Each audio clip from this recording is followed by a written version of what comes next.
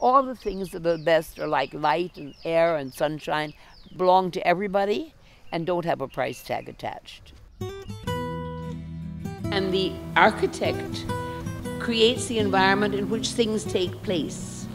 And you have an architecture that speaks of fascism, and now one can begin to take that idea and work with nature rather than dominating nature.